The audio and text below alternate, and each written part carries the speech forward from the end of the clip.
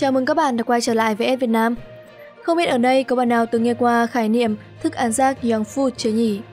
Thức ăn rác không phải làm từ rác, tất nhiên là vậy. Mặt khác, nó còn có vị rất ngon và hấp dẫn nhiều người ở mọi lứa tuổi. Hầu hết các loại thức ăn bị coi là rác đều chứa nhiều đường, tinh bột như bánh kẹo, nước ngọt. Dẫu biết rằng young food không có lợi cho sức khỏe, nhưng đại đa số người Mỹ vẫn cực kỳ ưa chuộng loại thực phẩm này. Nhưng đó là khi họ chưa được thử đồ ăn Việt Nam thôi. Đứng trước những món vừa ngon vừa bổ dưỡng của người Việt, giáo sư Terry Buss đã phải thốt lên rằng Ở Việt Nam rồi, hãy từ bỏ những món Tây vớ vẩn đi và chuyển sang ăn đồ Việt Nam lành mạnh mà ngon lành. Các bạn có tò mò về câu chuyện giác ngộ lý tưởng ẩm thực Việt Nam của ông Tây này như thế nào? Hãy cùng em khám phá ngay trong video này nhé!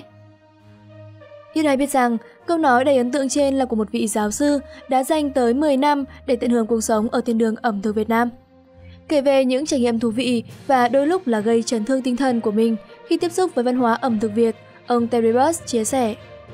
Phở được coi là món ăn quốc hôn quốc túy của Việt Nam. Điều này quá đúng, vì phở quá ngon. Chỉ có điều khiến người phương Tây bất ngờ là người Việt ăn phở vào buổi sáng, buổi trưa và buổi tối luôn, lại trong cùng một ngày, do nhiều ngày liên tiếp. Và bữa nào cũng hào hứng như nhau, giống như những người Mỹ khác. Tôi đã quen với những bữa sáng kiểu thiếu lành mạnh với một hai, thậm chí là ba chiếc bánh rán lấy ra từ ngăn tủ đông. Thậm chí là một chiếc bánh ngọt to tướng, cắn miếng bánh mà còn thấy cả mùi vị hộp giấy. Ở Việt Nam rồi, hãy từ bỏ những món Tây vớ vẩn đi và chuyển sang ăn đồ Việt lành mạnh mà ngon lành, như phở chẳng hạn. Cách người Việt đánh giá món ăn có nhiều điểm khác với người phương Tây, điển hình là món gà.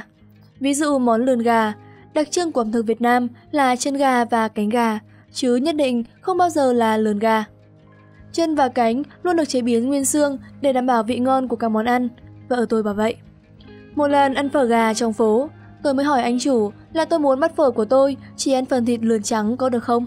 Anh ấy ngạc nhiên nhìn tôi rồi cảm thán. Sao lại có người thích cái phần thịt trắng nhạt nhẽo này mà lại không thích phần thịt liền xương ngon lành kia? Thế nhưng anh ấy vẫn rất vui vẻ phục vụ tôi bắt phở lườn gà tuyệt diệu. Từ đó, tôi đã luôn mạnh dạn gọi món lườn gà mỗi khi đi ăn với vợ mặc kệ những người bán hàng nhíu mày băn khoăn. Nhân tiện nói về chuyện gà, ông Terry cũng kể luôn một kỷ niệm gây chấn thương tinh thần như thế này. Giống với nhiều người phương Tây khác, có một món gà ở Việt Nam khiến tôi chấn thương tinh thần.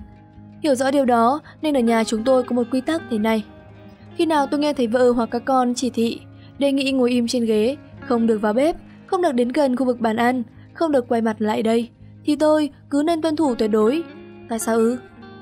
Tôi sẽ không bao giờ quên cái ngày định mệnh khiến tôi sợ món gà đó đến thế.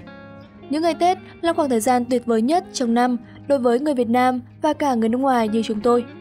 Dịp này giống như kỳ nghỉ gộp của lễ Giáng sinh, năm mới và kỳ nghỉ mùa xuân của trường đại học. Chính vì vậy, năm mới của người Mỹ chỉ là một, hai ngày, nhưng năm mới của người Việt kéo dài nhiều tuần lễ. Tôi nhớ cách đây 10 năm, khi tôi vừa sang Việt Nam, tôi thức dậy vào sáng mùng 1 Tết, bước ra phòng khách và ngước mắt lên bàn thờ treo trên tường. Trên đó đang ngạo nghễ một con gà luộc, miệng ngậm bông hoa hồng. Trời ơi, nó nhìn chăm chăm vào tôi. Tôi sốc, thực sự sốc. Và ánh mắt chăm chăm của con gà luộc cho đến bây giờ vẫn ám ảnh tôi. Chỉ có điều, đến lúc rời ra Việt Nam, tôi mới hiểu rõ là mình nhớ con gà đó đến mức nào. Thế năm nay, tôi chỉ hy vọng một điều tốt lành nhất, được trở về nhà. Thế nên, trong những trường hợp nhận được mệnh lệnh từ vợ hoặc con như vậy, nếu tôi không tuân thủ thì rất có thể tôi sẽ thấy con gà đó ngồi trong tủ lạnh, ngồi trên mặt bếp, rồi di chuyển ra bàn ăn và biến mất, không để lại dấu vết. Tôi thực sự không muốn nhìn thấy cái mặt nó chiếu tướng tôi. Cái mặt không một nụ cười, hoặc nếu không nghe lời mà cố tình quay lại, tôi cũng có thể phải chứng kiến những đôi chân, chắc phải của cả chục con gà đang được xếp ngay ngắn trên bàn ăn. Thôi, tốt nhất là nghe lời vợ. Chắc là có khối anh em ở đây lại cười ông Terry, đàn ông đàn ang gì mà lại sợ một con gà. Nam Nhi trí lớn, độ trời đạp đất ở đời, có sợ nóc nhà thì sợ, chứ ai sợ một con gà nhỉ? Thế nhưng, có một sự thật mà ít ai chú ý đến là ở nước phương Tây, ngay cả khi người ta ăn gà bỏ lò trong đêm Giáng sinh, thì nó cũng là một con gà đã được cắt bỏ đầu và cổ. Trên các chương trình truyền hình nổi tiếng như Vua đầu bếp, bạn cũng sẽ chẳng bao giờ thấy con gà nào nguyên vẹn từ đầu tới chân cả. Vậy nên, nhiều người nước ngoài lần đầu nhìn thấy gà luộc nguyên con ở Việt Nam, gồm cả cổ, đầu và chân, thì làm sao mà tránh khỏi trạng thái sốc văn hóa. Bên cạnh đó, chắc là các bạn chưa bao giờ để ý kỹ, những con gà cánh tiên ngầm hoa hồng đã yên vị trên bàn thờ nhưng lại không chịu nhắm mắt. đôi khi nhìn nghiêng còn có cảm giác như nó liếc liếc mình, cũng hãi hùng hoảng hốt hết hồn ấy chứ. Không chỉ bất ngờ về các món ăn, mà ngay cả thức uống của người Việt cũng khiến ông Terry bất ngờ vì sự khác biệt với người phương Tây. Tuy nhiên, đồ uống mà ông ấy chấn thương nhất ở Việt Nam không phải là cà phê như nhiều người nước ngoài khác. Ông kể, một trải nghiệm thú vị nữa là người Việt thích cho đá và bia. Thì đây là đất nước nhiệt đới mà. Người phương Tây thì lại có những cách thưởng thức khác nhau. Người Anh thích uống bia hơi ấm, người Mỹ rót bia ra lúc bia còn lạnh, giờ cho hết lạnh mới uống. Tôi thì cho rằng uống bia như người Việt vẫn là đỉnh nhất. Sao lại có người uống bia ấm cơ chứ? Câu hỏi của ông Terry cũng là câu hỏi của Ed đây. Dù không phải là bợm nhậu chuyên về bia bọt, nhưng Ed cũng rất thắc mắc là tại sao họ lại uống bia ấm, trong khi ngay cả bia chưa lạnh cũng đã dở hơn hẳn loại bia lạnh rồi. Thực ra thì Ed tìm trên Google mãi mà không biết bia ấm làm thế nào, nên đã đánh liều đem một lon đi hâm nóng rồi uống thử. Nhưng cái kết lại không được hợp miệng cho lắm. Đã thế còn bị mè sạc cho một trận vì cái tội mò mò nhưng chơi ngu, đun cả lon. May mà nó không xì hơi nổ tung cả bếp ra. Mà đấy là cảm nhận của Ed về bia ấm thôi. Có thể ed đã làm sai cách nên nó bị kém hấp dẫn hơn. Còn các bạn có từng nếm thử bia ấm chưa? Và so sánh nó với bia uống theo kiểu Việt Nam thì thế nào? Hãy chia sẻ cảm nhận của bạn với Ed nhé! Nói về tai nạn khi thử những món mới thì Ed tin chắc là không chỉ riêng Ed mới gặp phải đâu. Như ông Terry cũng từng rơi vào nhiều tình huống giờ khóc giờ cười như thế này đây. Trên hành trình khám phá ẩm thực Việt Nam, bạn hoàn toàn có thể gặp tai nạn bất ngờ chỉ vì chuyện ăn uống. Đừng bao giờ tự ý lấy chai nước mắm và rót thẳng lên đĩa thức ăn của mình. Đó là một thứ gia vị có hương vị độc đáo nên cần thời gian để làm quen. Hay khi nhìn đĩa cá sao xả thơm ngon trước mặt, nhớ đừng gắp xả, anh đầu bếp để đó cho vui mắt thôi.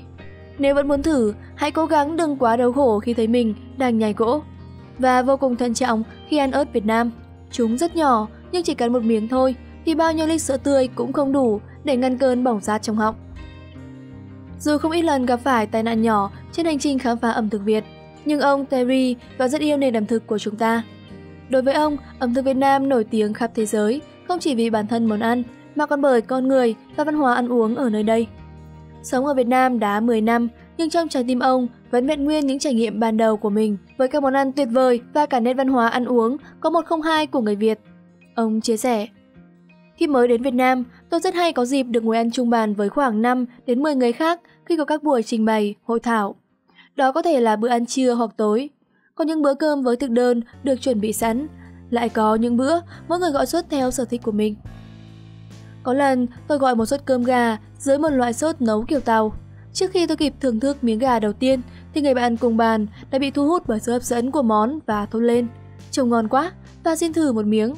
Tôi liền nở nụ cười, trong đầu nghĩ rằng cô ấy sẽ đưa đĩa của mình cho tôi sẻ. Nhưng không, là tôi đưa đĩa của mình cho cô ấy. Và chiếc đĩa bắt đầu cuộc hành trình với 9 điểm dừng, bởi ai cũng phải nếm một miếng. Cuối cùng nó trở về bên tôi với một chút thức ăn còn lại. Nhưng đừng buồn, đừng lo, đó mới là màn mở đầu cho cuộc hành trình của 9 chiếc đĩa còn lại. Tất cả mọi người đều chia sẻ. Các chiếc đĩa cứ đi quanh bàn để ai cũng kịp được thưởng thức các món ăn của những người khác. Đừng nghĩ đơn giản, ăn trưa là ăn những gì mình gọi, ăn trưa là ăn buffet. Người Việt Nam thích nói chuyện phiếm, hỏi thăm tình hình, đùa vui và đặc biệt bữa ăn luôn đầy ắp tiếng cười. Tất cả những điều này đều rất thú vị với người nước ngoài. Vậy nên tôi đã học cách nhập ra tùy tục. Vui mà. Ông Terry thì thấy những cách ăn uống kể trên của người Việt rất thú vị, bởi nó thể hiện tinh thần chia sẻ và sự yêu thương gắn bó, thân thiện của người Việt Nam. Còn các bạn có cảm thấy những bữa ăn chung hay những hành động san sẻ như thế là đáng yêu không? Hãy chia sẻ suy nghĩ của bạn bên dưới phần bình luận nhé! Cảm ơn bạn đã theo dõi và ủng hộ cho hết Việt Nam. Xin chào và hẹn gặp lại trong các chủ đề tiếp theo trên kênh youtube của chúng mình.